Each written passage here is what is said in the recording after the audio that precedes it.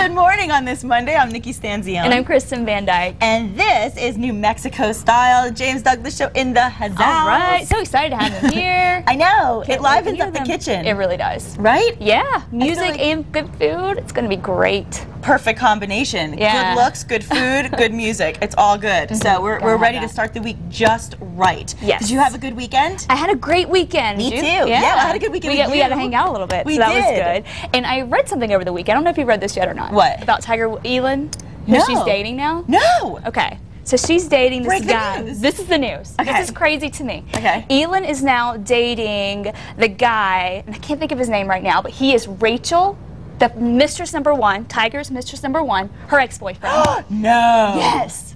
So she's Revenge? dating the ex-boyfriend of a girl her ex-husband cheated Right. on her with.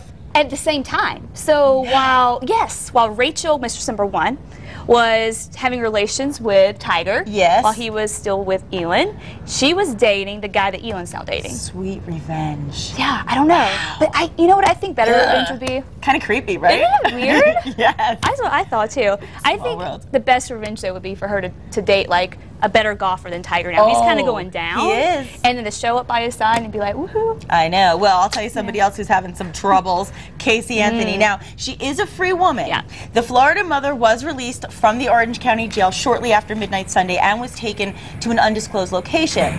But, you know, we say free, but I don't know Yeah. if she's completely really free. No, almost two weeks ago, she got found, of course, not guilty of first degree mother murder in the death of her two year old daughter, Caylee. And she has remained in prison on four counts of lying to police, but now she's out and was given credit to time already served. And Yeah. even though she's out, she's in hiding right now. Right, know- We don't know where she is. And, Well, of course, death threats everywhere. So That's why I don't think she's really free. No. I mean, yeah, technically, as far as the law is concerned, she is, but she's going to live a very difficult life. Right. In fact, I know I've been hearing talks of her wanting to change her name legally. She wants to get major plastic surgery. They were talking Mm-hmm. About all the things they could do to make her look completely unrecognizable. Mm-hmm. So, really, at the end of the day, I still think she's getting some punishment for the possibility but of. I did have a frightening thought. I was like thinking, you know, they've shipped her off somewhere. They said maybe she'd flown out to an undisclosed location. I Right. hope it's not like on some beach, and you know what I mean. I know. Like you think, Having a great what if life that's now. what she's doing right now? I Sipping really margaritas at the ocean. She doesn't really So, deserve that yeah. much. Now, Interesting. more big news out of Hollywood this weekend on Love. Jennifer Lopez and Marc Anthony are calling it quits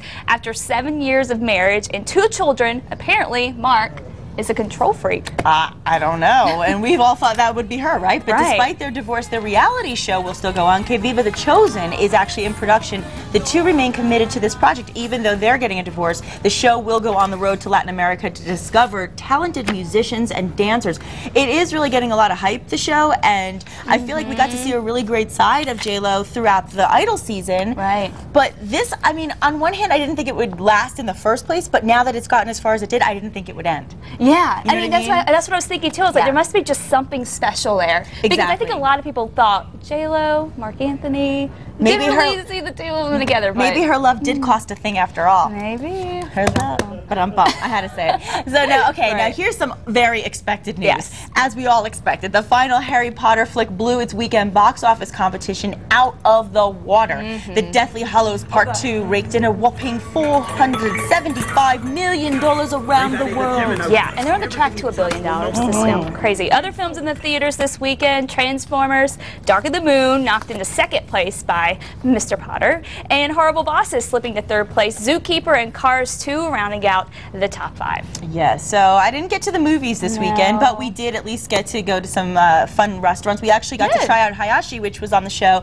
Wasn't it amazing? It was very good. The sushi, mm, some of the best. Some of the best. Really, really good. Really, and like we said when they were on the show, they they are so on top of making sure they only use the freshest possible fish and really good service. We had a good time. We so did. highly recommend it. Now, okay, you may remember last week when actor Steven Michael Quezada was here, he mentioned special acting classes that he'd be teaching right here in Albuquerque for free. Right. And if you are a thespian who wants to learn from work, a working actor on an award-winning hit TV show, which, by the way, I premiered know. last night, was really good, you can participate in Steven's acting workshops this week from July 20th to, to July 22nd. I got a lot of emails actually about that, wondering when it was. So yeah, Yes. definitely check it out. It's great. Well, classes are going to be held, if you didn't know, at Triple Threat. That's going to be from 3 to 6, so a full three hour workshop. And for more information to mm-hmm. participate, just call 505 220 3665. All the information is below us. And uh, really, I mean, certainly worthwhile. Like Kristen said, I mean, to get acting lessons for free mm-hmm. locally from somebody who's on an award-winning show, I mean, that's Yeah. that's really Good valuable. stuff. And it's so nice of him to do too. Yeah, Amazing. it was great. He's always giving doing so back. much Yeah, right? the community. He is, great. and that's and, and that's and we'll talk more with James Douglas show. But they're of course the house band for the Oh, after yeah. after party, which is his mm-hmm. show here. So really, he really does a lot. He gives back, and of course, last night. I, I, I don't give anything away because I haven't watched it yet. Yeah, I know. But I heard some really interesting things. It's good. I oh, it's good. It's good. That's all I'm gonna say. So catch up if you haven't, and then maybe do the wait thing and do like all three back Like to back, like wait three weeks. I think it's it might be a little better that way because it just leaves you hanging in the end. Yeah, and then you don't Just have to like, wait. "Arr," You gotta wait Those cliffhangers are rough. Yeah. Well, here, okay, here's a cliffhanger. What can we expect with weather? I woke up this morning and it was warm. Usually the mornings it are not really this warm. hot. So is it going to stay like this? Um, yeah, it's just going to get hotter through the day and not much of a cliffhanger. More of the same. Here's a look at the forecast.